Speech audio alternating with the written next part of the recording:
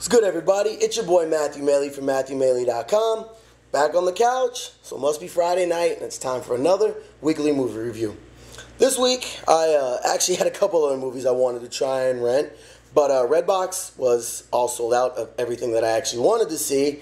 And since I had to get something out there for my loyal and trusting viewers, I decided to get something that I didn't really want to see and kind of went into assuming it wasn't going to be that great, and pretty much was right on the money.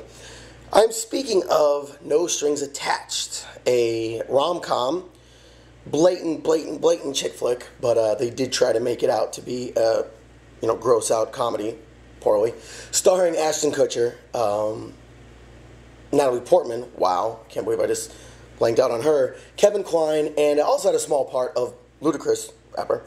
Um, it obviously, if you've seen the previews or you know even know the saying "no strings attached" is about two people um, that through the movie you find out actually have past history together, um, non-sexual, but simply were friends from you know way back in the day, and um, decide that hey, we're two hot adults, so let's get it on for the sake of Hollywood, I guess.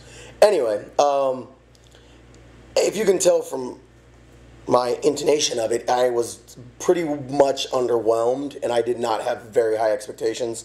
Um, I thought Ashton Kutcher had his typical, you know, funny lines. I thought Natalie Portman was her typical convincing self. And there were a couple other characters in there that were, were were decently funny. Ludacris had a couple good lines. Kevin Kline actually was was decently funny, but it was so much of a run of a of the mill type of movie. It, there really is very little that I could say that would be any different than any other movie ever. Honestly, it is it is so blatantly just a rom com, um, and it draws a lot of parallels to a review that I just previously did um, for Love and Other Drugs. They came out kind of around the same time.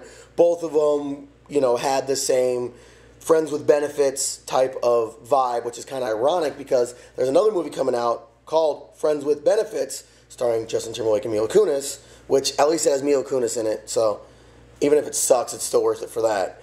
Um, but this was really in that exact same vein, but not as good as Love and Other Drugs. At least with Love and Other Drugs, they tried to put a little bit of a serious element into it. Um, whereas this, from the beginning, it was just a chick flick.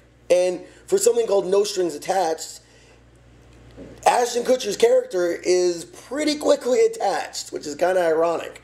Um, it instead of it being a, you know, I mean, you knew that they were going to end up, you know, wanting to be together. Da da da da da. Spoiler alert there, but you know, if you know a rom com, I didn't blow anything for you.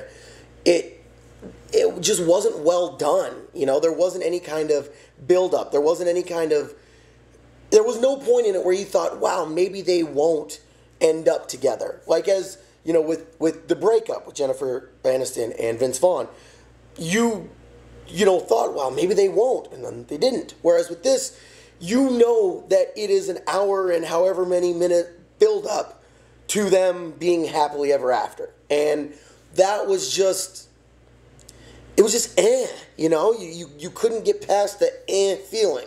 And yeah, there were a couple funny little parts in there, and you know, it was an excuse to show two hot people getting it on, but it just wasn't. There was nothing substantial about it. There was nothing uh, to write at home about, and I, and I understand all movies don't have to be that way. I love mindless, you know, put the brain on hold for a couple hours and just live out of in a fantasy world. Something like Machete. That's great. Give me two hours of just stupidity. But this was, you, it was almost taxing to watch. Um, I know I've been having a bad run on movie reviews lately, but I'm giving this one two stars as well.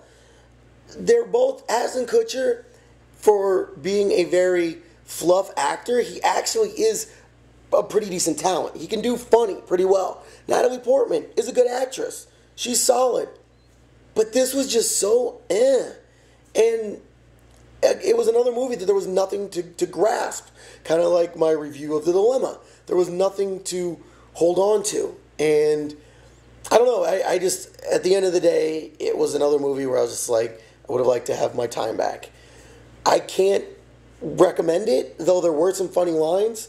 Um, in the very beginning, when Ashton Kutcher gets drunk and wakes up on, turns out to be Natalie Portman's couch, there is kind of a funny dialogue between all of Natalie Portman's roommates and Ashton Kutcher trying to find out if he in fact had had sex with any of them. So that was kind of funny. And the one really kind of funny gag in it is that Ashton Kutcher's father has a knack for hooking up and or dating Ashton Kutcher's exes. So that was kind of funny, but not worth watching for that. And again, Ludacris had a couple funny lines, but he's actually a decent talent. And he got squandered. So, once again, no strings attached, should not be watched, in my opinion. I would give it two stars, and that's simply for those very small funny parts, and I'm being generous, I guess. So, let me know what you think. If you thought it was very well done, you think my review's garbage, and or if you completely agree with me and thought it was a horrible pile of sludge, let me know. So once again, Matthew Maley, MatthewMaley.com. My couch.